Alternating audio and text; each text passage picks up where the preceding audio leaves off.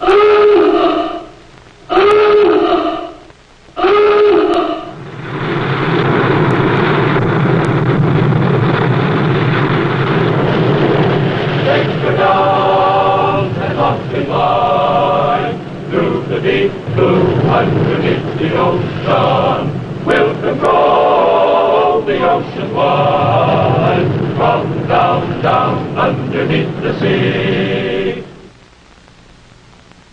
Rear Admiral Thomas M. Dykers, retired. In the history of the submarine force, tales of courage are easy to find. But courage is a strange commodity. Under fire or under the pressure of danger to oneself, men will rise to unbelievable heights of heroism. Yet there is another form, much more rare and consequently more impressive. When with nothing personal to be gained, a man will gamble against tremendous odds for something he believes in. This is the story of such a man.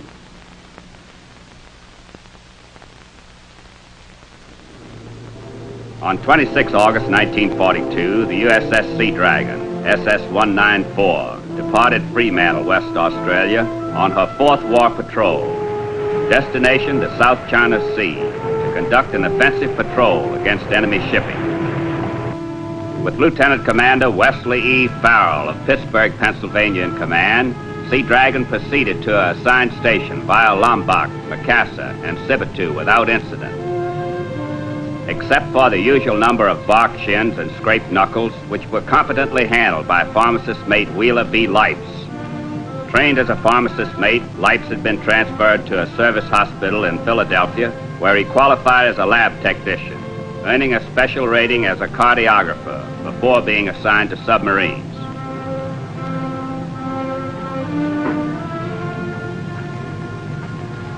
Matter? Something wrong, Captain? Smokey, did you ever get the feeling you should have stood in bed? Yeah, I know what you mean. We've been chasing our tails ever since we got here, and we hadn't fired a single torpedo. Not a thing to shoot at. Oh, it'll pick up, Captain. There's got to be some targets someplace. Yeah, I don't know. I've got a hunch this is not going to be one of our more successful patrols. Well, let's hope you're wrong.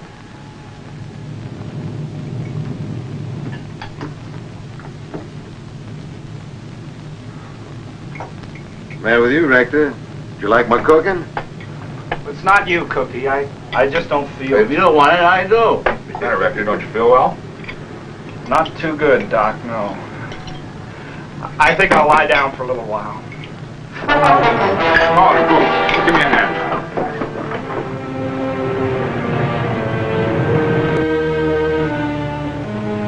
Smoke off the starboard bow.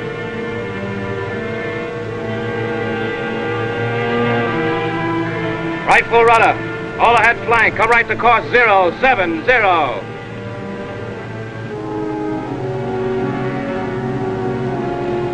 Maybe you're right, Smokey. Would be there are some targets left.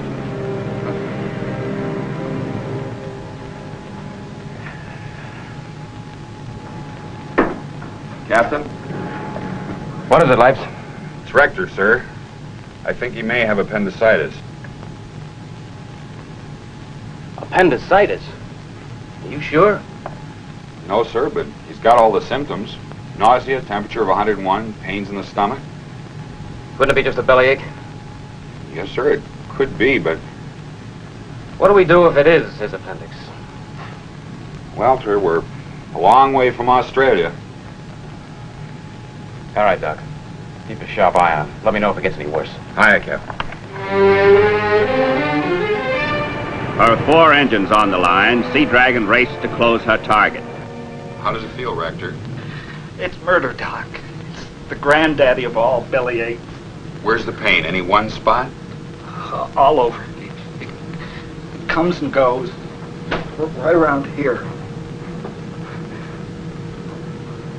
Take it easy, kid. I'll, I'll be right back. Stay with him. I want to have another look at the corpsman's manual.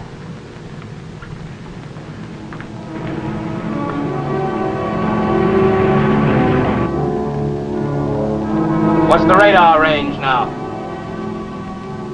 20,000 yards, Captain. As the Zig wants. Smokey, call the plug. Aye, aye, sir. Clear the bridge. Dive, dive.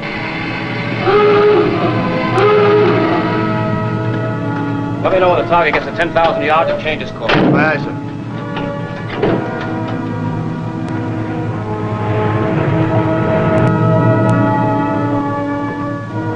Lipes? How's Rector? Oh, Booth is with him. I've been checking the manual. He's got all the classic symptoms. Uh, let's go take a look at him.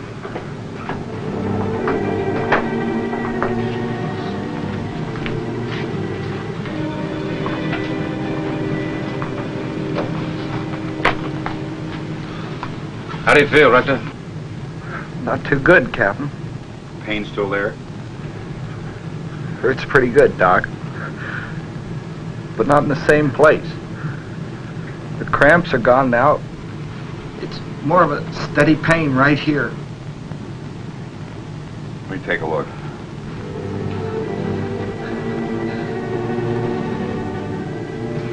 Is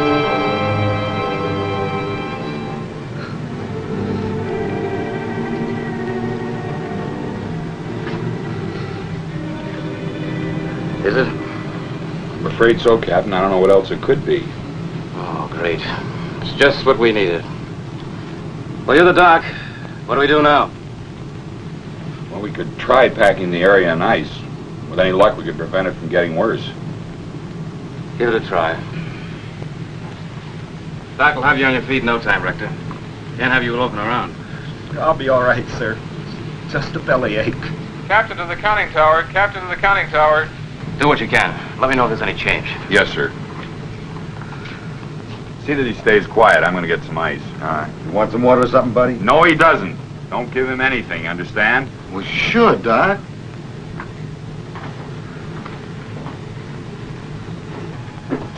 Ten thousand yards, Captain. He hasn't changed course once. Good. Now scope. Battle stations!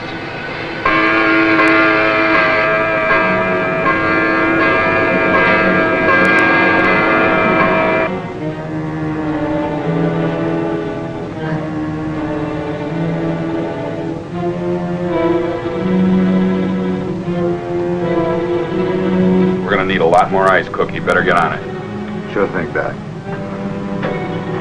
Torpedo depth's at eight feet. Up scope.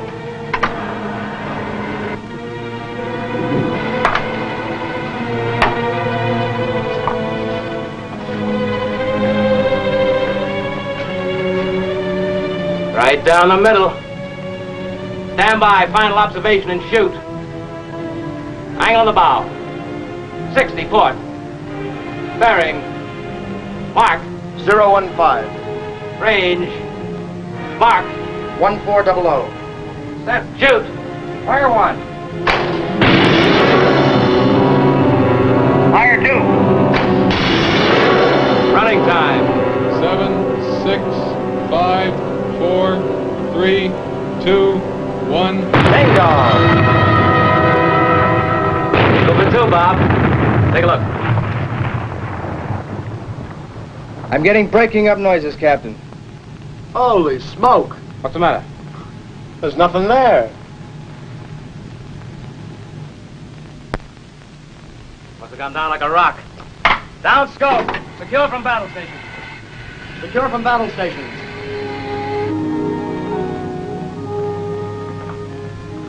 Any better?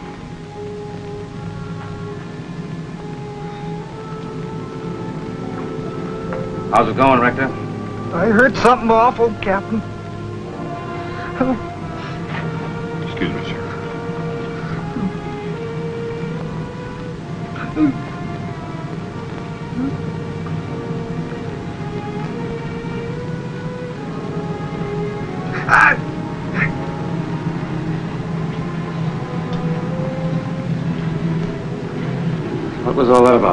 Getting worse, Captain. A lot worse, and that spot's getting more rigid. I'm afraid his appendix is going to burst. Doesn't stand much chance, does he? No, sir. Unless we operate. I think we'd better have us a talk, Doc.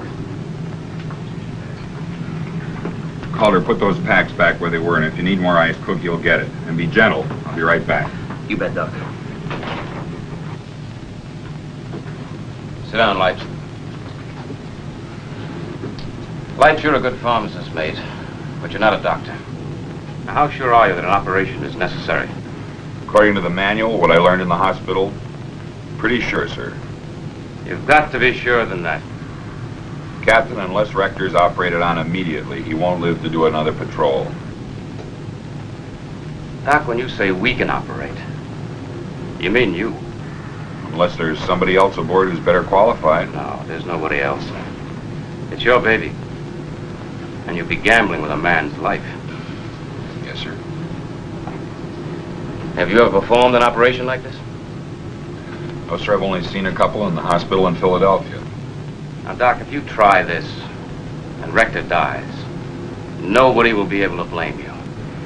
But you'll have to live with it the rest of your life. Captain, if I don't try this and he dies, I'll have to live with that, too.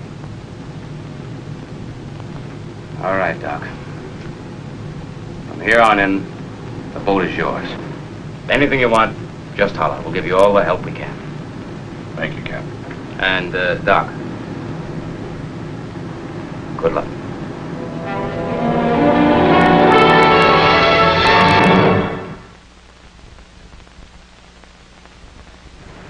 For the remainder of the night, there was no rest for those aboard the Seadragon who were involved in the history-making operation.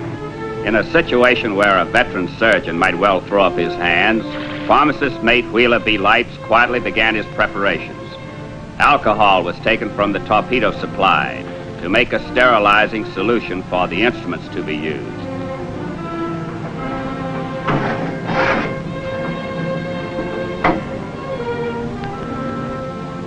With virtually no operating instruments at his disposal, Lipes was forced to draw on his own ingenuity and the memory of the operations he had seen to invent his own. For retractors, Lipes had to use spoons bent into the proper shapes.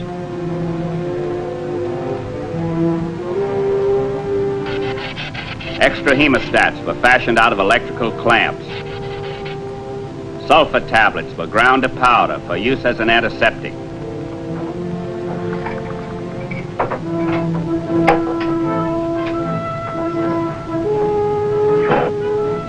Makeshift preparations as complete as he could get them, Lipes called his staff together for a final briefing. Lieutenant Charles C. Manning would act as chief nurse. The exec Lieutenant Norvell Ward would be chief assistant. Calder and Booth would administer the anesthetic. The skipper, Pete Farrell, would act as roving troubleshooter.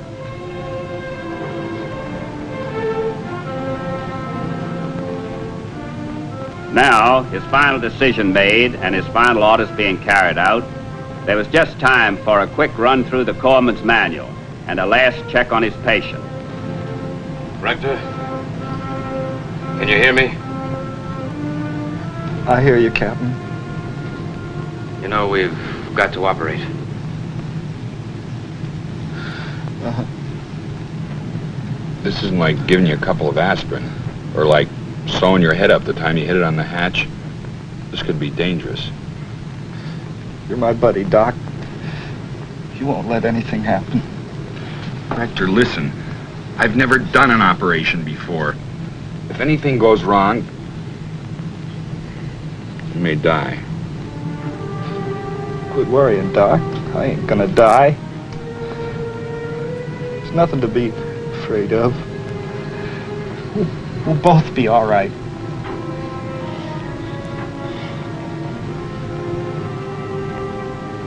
Ten forty-five, 11 September 1942, for Darrell Dean Rector, Seaman First Class, it was the point of no return. Control room, Hastings. We're ready to go, Harry.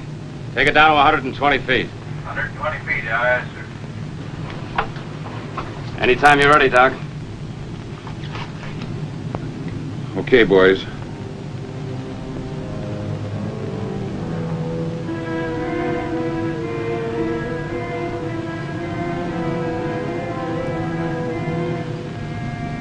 Easy, Rector. Breathe deep.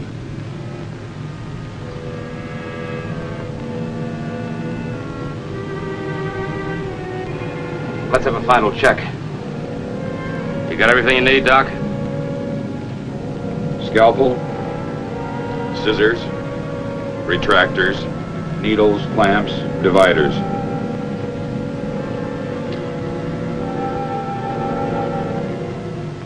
For a moment, the enemy above was forgotten as the men of the Seadragon concentrated on the war one of their own was waging, a war in which they couldn't participate.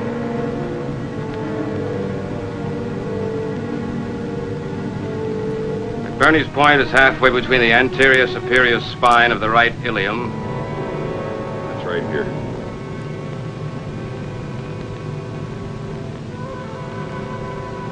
and the navel.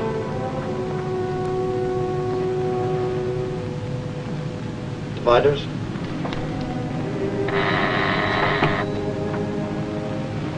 Yes? Level off at 120 feet, Cap. Very well. Harry, Sir?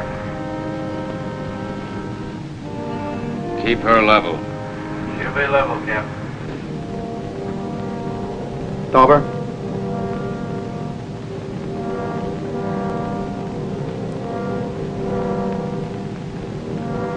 I'll take that, Mr. Manning.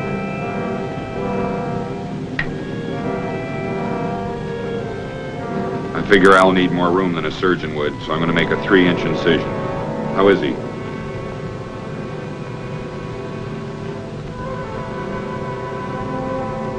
Out cold, Doc. Towels.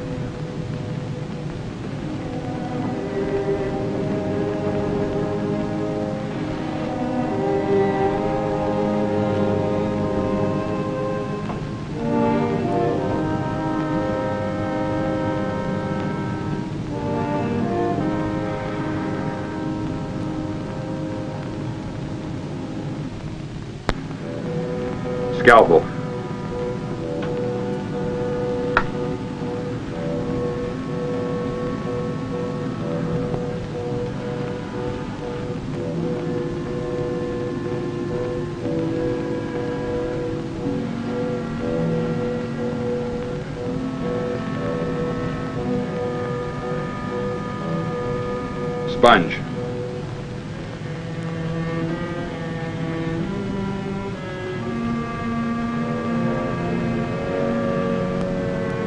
Clamp.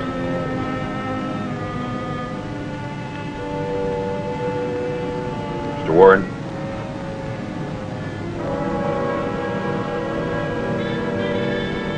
Gently, with almost slow motion care, Lipes cut through the skin layer, through the subcutaneous fat.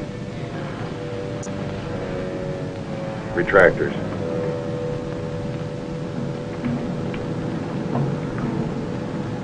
through the three layers of muscle that lie underneath. And finally to the peritoneum, the tissue-thin covering that lines the abdominal cavity. Here, more than anywhere else, a slip of the scalpel could mean the patient's life. Retractors.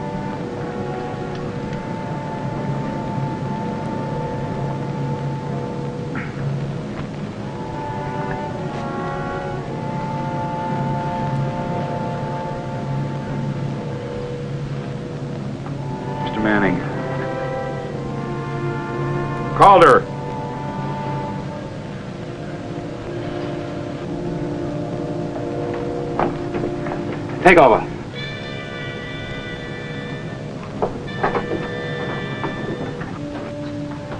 You all right? Yeah, I'll be, I'll be okay, Captain. I Guess it kind of got me for a minute. You better stay out there for a while. We can't have you keeling over in here. Yes, sir. Sound contact. Bearing. 195. Yes, what is it? Sound contact, Captain. Bearing 195. Rig for silent running. Let me know if he gets close enough to worry about. Aye, sir. I'm in the abdominal cavity, Mr. Ward. Can you get the lining under the retractors? The rest are to... What is it, Lipes? His appendix. It should be right here on top. Well? It's not there. What do you mean it's not there? Take it easy, Smokey. You didn't lose it on purpose. It's Got to be here someplace. Relax, Doc. You're doing a beautiful job. I'll find it. For what seemed like hours, Lipes probed cautiously but blindly. In a space just wide enough to admit two fingers, he searched for an object that only a trained surgeon would be expected to know by feel. They're shifting to short scale. Screw speeding up. Closing fast. Yes? Screw is closing fast, Captain. Uh, rig for depth charge.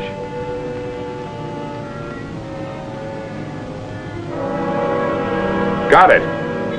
Clamp. Grab those retractors. Scalpel.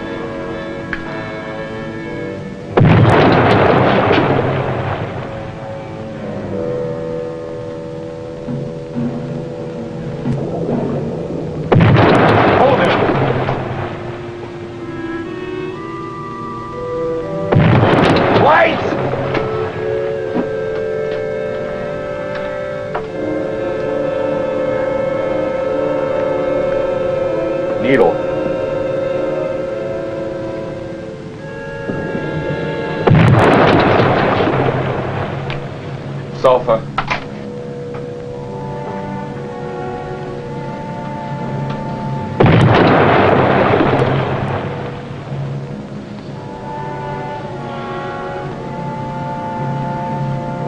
Scissors.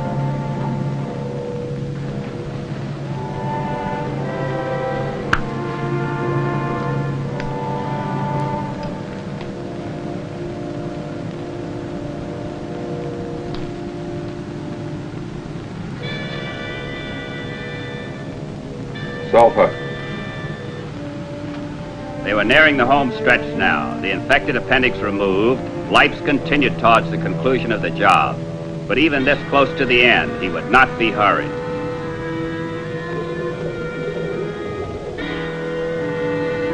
Slowly and painstakingly, he closed the incisions he had made, making sure that there would be no later infection or complication. At 1322, two and a half hours after he had started, Sulfa. Finished. Good boy, Lipes. It was a beautiful job. Boy, you can say that again. Anytime I get a busted appendix, Doc, you can take 'em out. Doc, I want to cook you the best meal you ever ate. Wait a minute. There's a clamp missing. Oh, no. I got it.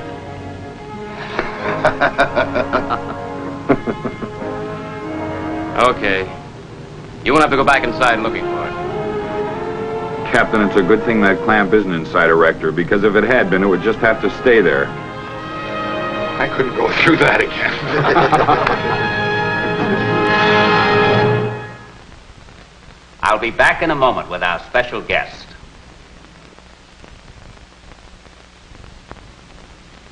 It is our privilege to have with us the executive officer of the Seadragon during the events you've just seen, Captain N.G. Ward.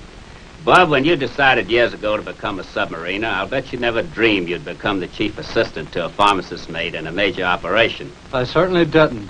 But by then I had been in submarines long enough to know that anything can happen. And it usually does. It must have taken a great deal of courage for Lipes to undertake that surgery, and for Rector to consent to it. Yes, and for the captain to authorize it. Rector must have been a pretty sick boy. He was. It didn't take more than one glance at him to know that something drastic had to be done, and quick. It's a tribute to Lipes and to the training of our pharmacist mates that he was capable of doing such a fine job when he had to. Had there been any other course of action, we would have taken it because the Navy doesn't condone operations by other than qualified doctors. Yes, I've seen him flown to some pretty remote places in emergencies. Of course, we were too deep in enemy waters for that. I understand Lipes was promoted for his fine piece of work. Yes, he was, and he certainly deserved it. I couldn't agree more. Thank you, Bub, for your visit. Please be with us again for another true story of the silent service.